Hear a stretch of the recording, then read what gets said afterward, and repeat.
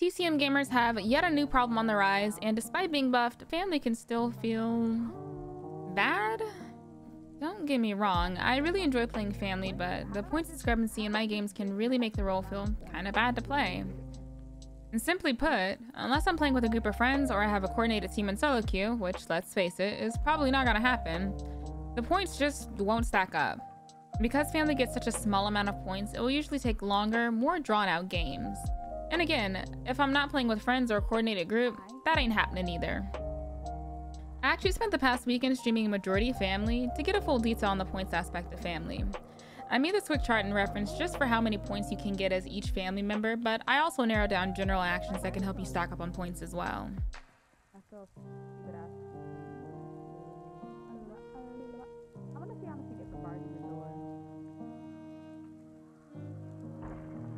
As you can see, even without kills, Leatherface and Cook can get the most amount of points easily.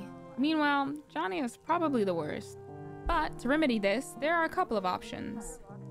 Number one, I think there should be bonuses depending on how long matches go on for family, just as they do with victims.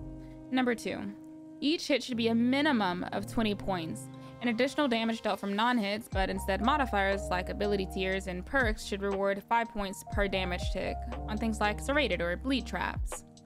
Number three, barging doors should give a minimum of 20 points as it wastes time for the family, but it also makes victims lose a valuable resource in the process. Number four, collecting blood should be 20 points minimum as well, due to it also being a slight waste of time depending on how victims play, but because we're in such a rush meta for victims especially, I think it's definitely a waste of time. Number 5, latching doors should be 10 points minimum as it also makes victims lose a valuable resource.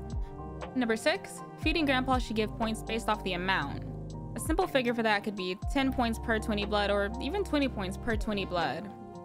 Number 7, make family point gain consistent whenever they activate their abilities. So for example, Johnny finding footprints and activating his ability to begin tracking, Hitch setting his traps, and even since Sissy restocking on poison should reward at least 20 points. Number 8 and last, I'd love for just bonuses in general for the family side.